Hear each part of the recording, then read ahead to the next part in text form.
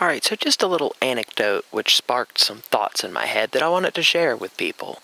So I don't have very good bandwidth at my house. Yeah, because you see, I'm the mule. I'm the one with the good internet, so I'm the one who's always having to actually upload stuff, so that's why I'm the one who's always commenting on the videos and Bobo's not because that's he doesn't have very good internet. So being a fan of the Pokemon franchise, I downloaded a program called uh, the Pokemon Battle Simulator. Lets you simulate Pokemon battles online. So I made up my team and was doing my fighting, and I was losing because I was rusty. I hadn't done that in a while, and people would sit there and be like, "Ah, oh, your team sucks. You're terrible at this." And well, you know, I could have gotten mad or whatever. Oh, how could you? But well, I would just tell them I'm just testing stuff. Now I know this sucks. See, now I have learned.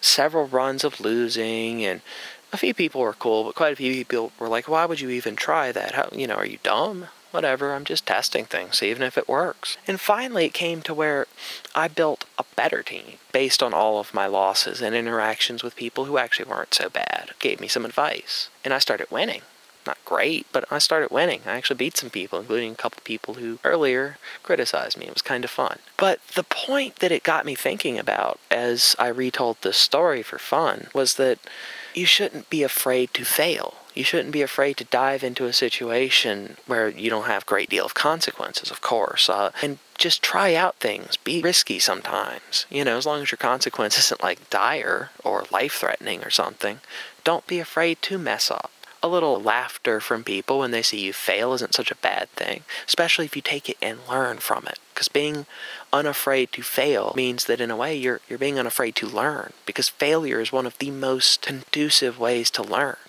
You feel the sting of failure. You don't want to fail again. You internalize why you failed. You think about it, and it, especially if you let it germinate a little bit, you think about it and you work on it, you can really learn from failures to grow and become better. And it, it just also made me chuckle that the simple little Pokemon battle game made me have such a thought about how being unafraid to fail is one of the greatest ways to learn and become successful. Just something to think about.